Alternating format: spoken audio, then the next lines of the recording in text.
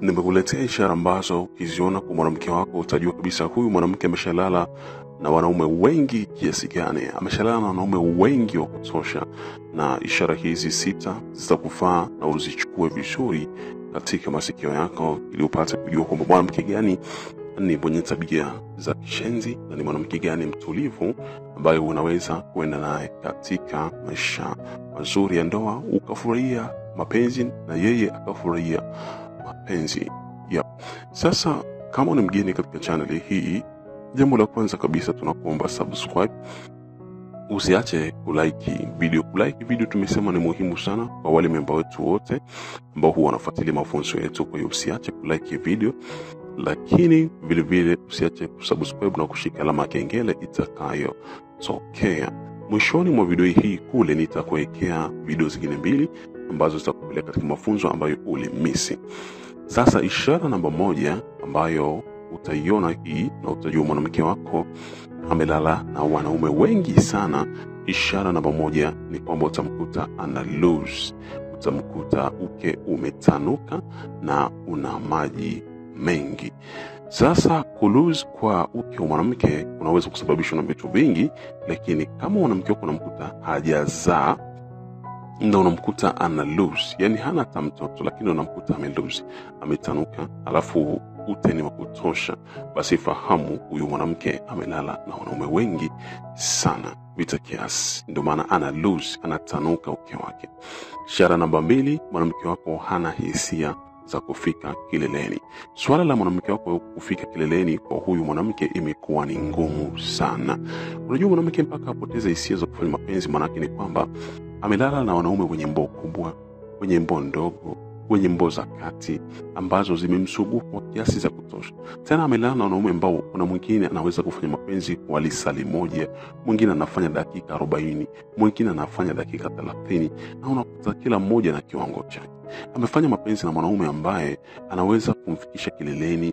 Kuna mwingine anampa tu hisia, kuna mwingine anampa tu utamu, yaani mpaka imefika mahali sasa amepoteza hisia za mapenzi kutokana na kufanya mapenzi na watu tofauti tofauti ambao wana confuse uke wa mwanamke kutambua hisia za mtu mmoja. Hivyo inasababisha mwanamke kupoteza hisia zake za kufanya mapenzi. Mfano, unakuta mwanamke yeye ni wa kawaida, ni mdogo tu, alafu anaenda kukutana mwanaume ambaye ana ambao ni kubwa kupita kiasi ambacho anajua kabisa hii hata ikiingia inampaga maumivu, lakini anaenda kukutana nayo. Matokeo yake ni nini? Uke wake, mishipa yake inatanuka, ina maana inafanya kama vile inajeruhiwa, inatiwa majeraha, na itafika mahali mwanamke anapoteza hisia kabisa za kufanya mapenzi. Hiyo ni ishara namba mbili. Ishara namba tatu ambayo itakufanya uone mwanamke wako ni kicheche, ameshalala na wanaume wengi sana, ni kwamba sasa mwanamke wako ameanza kutongoza wanaume. Sio kawaida kwa mwanamke kutongoza wanaume. Mwanamke anaweza kutongoza wanaume kutokana na kutumia ishara zake za mwili, mfano kwa kutumia tu macho, midomo. Anaweza akatumia pia na body language zingine, hizo zinakubalika. Lakini if mwanamke atamfuata mwanaume na kumwambia nakupenda, au atampigia simu afu anamwambia nakupenda, sasa ameanza kutongoza wanaume, you have to know kwamba hiyo ni ishara nyingine inajulisha kwamba mwanamke wako ni mwanaume, ni mwanamke ambaye amelala na wanaume wengi sana. Ishara namba tatu itakayokuonyesha kwamba mwanamke wako amelala na wanaume wengi sana. Ishara nyingine itakayokuonyesha mwanamke wako amelala na wanaume wengi sana, sasa hivi anataka kufanya mpenzi kwenye makalio, anataka umwingilie kwenye matako yake, na maana hisia za huku mbele zimetoweka. Sasa anataka kufirwa, sasa anataka kuingiliwa kwenye makalio yake. Hii ina maana ni mwanamke ambaye ameshatembea sana. Kwa hiyo ukimwambia tu nataka nikufiri, anakubali nataka nikufiri, anakubali.